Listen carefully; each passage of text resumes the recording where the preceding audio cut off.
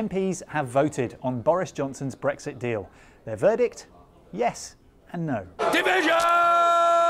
Clear the lobby! The first vote on the plan to implement the deal, the Withdrawal Agreement Bill, went the government's way. It's the first time there's been a majority in the House of Commons for any Brexit deal. The ayes to the right, 329. The noes to the left, 299. So the ayes have it. But in another vote on the timetable to push the plans through Parliament in just three days, the government was defeated. The ayes to the right, 308. The noes to the left, 322. So the noes have it. Boris Johnson wants it done and dusted this week so he can meet the deadline of October the 31st for the UK to leave the EU.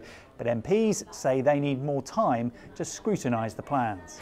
Tonight, the House has refused to be bounced into debating a hugely significant piece of legislation in just two days, with barely any notice. After warning MPs that if they voted against the government's timetable, it would pull the bill altogether and push for a general election, here's what the Prime Minister said.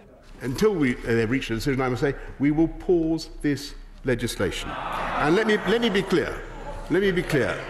Our policy remains that we should not delay, that we should leave the EU on October the 31st, and that is, that is what I will say to the EU, and I will report back to the House. Downing Street has left open the prospect of a short extension, meaning the October 31st deadline would be missed. But at this point, could Boris Johnson live with that?